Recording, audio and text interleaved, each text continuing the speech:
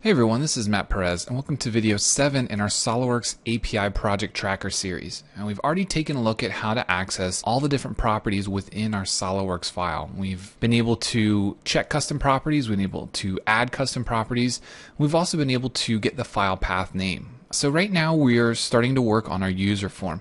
And the layout and the setup of this is very important. We need to make sure that it's very easy for the user to understand. And we've already started by making these text boxes that are project number and project name. We're populating from the custom properties in our file. Now we're going to have to create a bunch of user forms. We're going to have to interact with the user and allow them to do things such as make the new custom property for project number and project name or make those individually and so on. But for right now, we're dealing with the main user form, the one that the user is going to interact with assuming that they have a file that already has these custom properties and they don't need to add any additional information. What we want to do is we want to make sure that the overall layout of this is as easy to understand as possible. So instead of using a label, I want to come back and I want to use the frame, just like we use for active document properties. But the frame is now going to be used for things like the project number and project name. So we have this text box for project number, and now we have frame 2. Now what I want to do is change this to project number.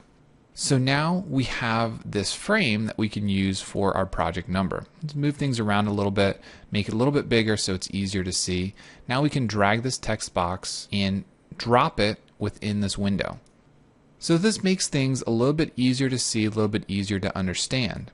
Now if we run this form, we simply play it, you can see that now it looks a little bit different than it originally did. So we need to make sure that everything that we're doing here is very easy for the user to understand. Again, we need to be real careful with the widths of all these boxes and you're going to have to manually enter values. For instance, the width, we'll make this 100. Our text box, the width is currently 84. You can see that its height is 18, left is 6. So we're going to go ahead and make this 86 and take a look at this by playing our form. So it looks a little bit better. It's a little bit more centered on our form, very easy to understand. We can also go back and change the alignment of the text box. So right now it's aligned to the left. If we want it centered or right aligned, we could do that as well. That will change the position of things when we display it on the screen. Now we want to do the same thing for our project name. I'm going to simply take this frame, I'm going to copy it, I'm going to paste it. So now I have the exact same frame, the same properties, the same frame, and I want to come in and I want to delete that text box. So I'm going to come into my project number, the second frame, and I'm going to change this to project name. Now I can take my text box and drag it and drop it inside here. Now remember we did modify some of these properties our original text box is 86. So we want to go back in and we want to modify this, make sure that we follow the same sort of functionality, the same sort of sizing. Now we can move the frames around and we can organize this in a little bit better manner. We can control select both of these, we can right click, we can align their tops. That makes things look a little bit more uniform. So as we play this back, we now have project number and project name, a little bit easier for the user to understand. Once we enter the file name, we can go ahead and resize the overall structure here. So for right now, I'm going to make this frame a little bit bigger, and we want to add one more frame. This frame is going to be the same width as the two project name and project number frames, but this new frame is going to be our file location. Now inside here, we're going to have to create a new text box. So for right now, I'm just going to drag a text box and I want to rename it. It's going to be txbx file name. And again, these names are very important when we're looking for these properties when we're programming things in the background. Now, the reason I made the text box so big is because a lot of times, especially when you're dealing with network locations or even multiple buried folders, you're going to have a very long file name. So we want to make sure that it can wrap around. And there is an option down in the properties for your text box. We have this line called multi-line. Now we need to change this to true. If we leave that at false, it's simply going to obscure some of the text. If it's long enough, it's just going to keep wrapping out here into space. If we turn the multi-line to true, it'll then wrap around and show you the file location in this entire box. So now let's take a quick look at the file. And now we need to populate this with the file name that we're dealing with. So we want to go into our user form and view the code. As we're viewing the code for this private sub user form initialize, we're getting the file path. And we have this file path, this string that we declared called file path, and it's automatically set to get path name. Now, if for some reason there is no file path name, we set file path equal to no file path. So this means we can still use this value. So what I want to do now is txbx file name dot value is equal to file path. We'll go ahead and save this, go back to our user form, and let's play this and initialize it. So now you can see that it's populating here. Now everything is currently bold. If we want to change that, we can select all three of these, or we can select them individually and change their properties individually. Under the text style, we want to change it to regular instead of bold. Might be a little bit easier, a little bit less distracting for the user when they're looking at these, and also it'll take up a little less space. So now if we reinitialize our form, everything is regular in terms of the font, it's not bold, and you can see that everything is wrapping as it should. Now, if you think you need more space, and this is definitely the time that you want to handle that. So now as we're looking at things, we want to resize and make sure that everything looks uniform, everything looks the same. Our file location box is currently 216 wide. Now, if we take a look at these two, these are each 100 wide and they're spaced apart some distance in the middle. So we want to make sure that these values are working together. So everything's working together. We don't necessarily have to have that 216 wide. We can make it 200 wide and we can select these two, right click, and we can align their rights.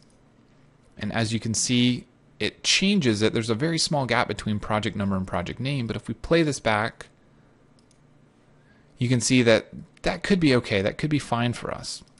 If we want to change those values, we can go back in and we can reorganize things. And let's say that we want the width to be 210 then we can select this guy, align it, align the rights, spend some time. So select these two, align the lefts, select these two, and align the rights.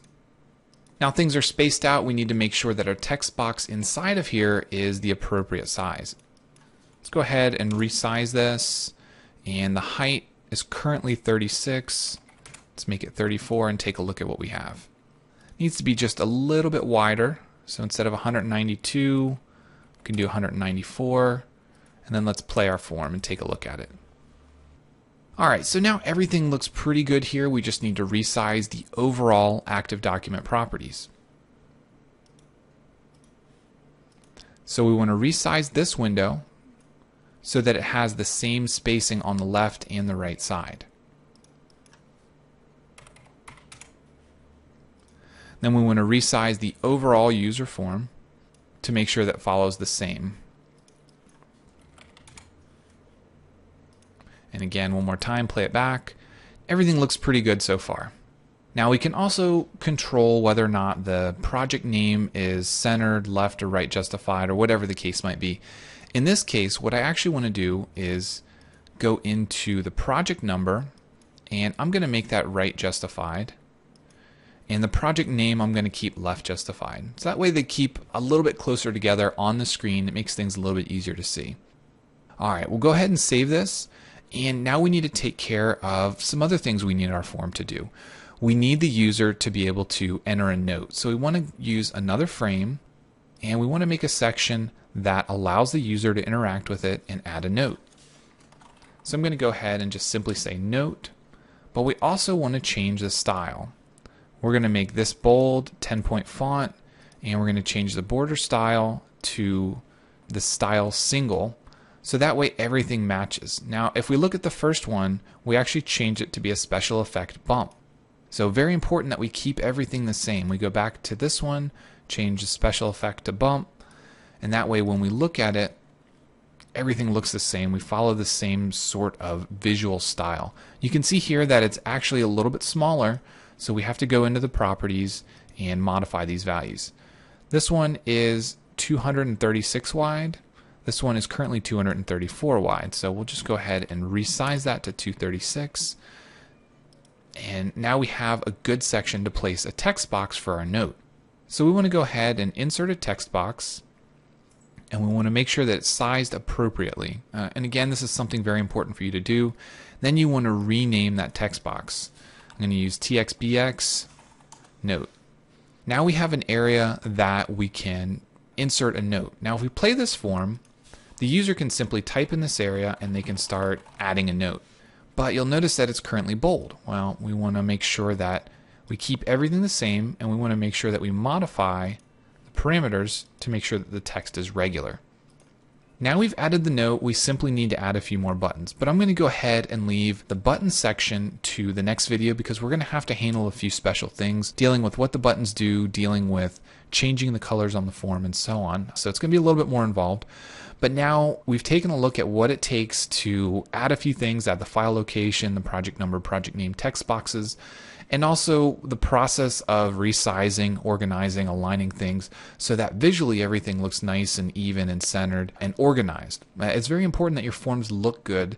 Otherwise, if, if things are a little bit off, if the text is bold in one and, and not bold in the other or whatever, it's going to look messy. It's going to be hard for the user to focus on what they need to do. You want to make sure you draw attention to certain areas and you leave other areas without so much focus on them.